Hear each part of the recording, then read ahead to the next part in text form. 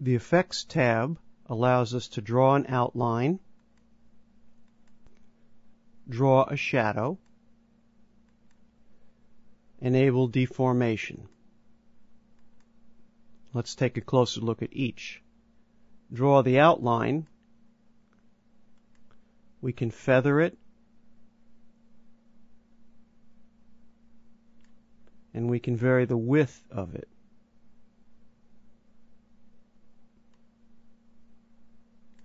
Shadow. And we can vary the color as well.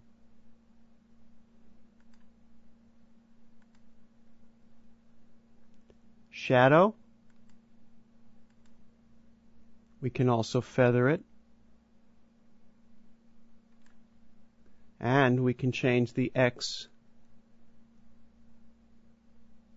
and Y offsets.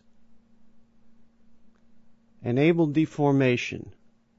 We have several choices here. We've currently selected shear vertically. We can shear horizontally, squish the top, compress vertically, curve left, and we can vary the amount as well. So you can see you can create some dynamic effects very quickly and easily just using simple text. Let's make some greater changes to this one. change the background color and opacity. Let's increase the tracking a little bit and the leading. And let's kern the fonts and see what we get now.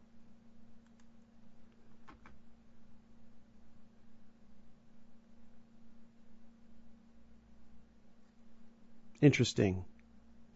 Don't forget that whatever we do with our text, we also have the ability to use the event pan crop dialog in addition to whatever else we do. So, for example, we can create a keyframe here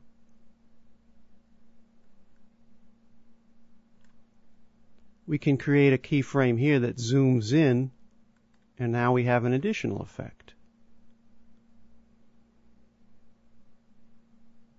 Let's make this a little more real world.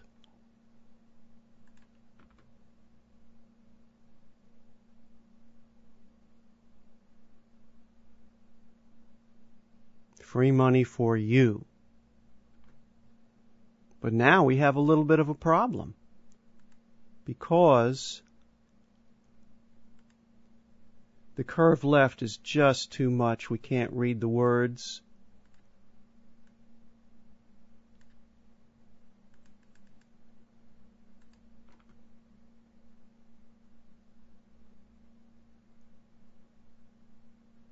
You can see that you have an enormous amount of control over how your text will appear.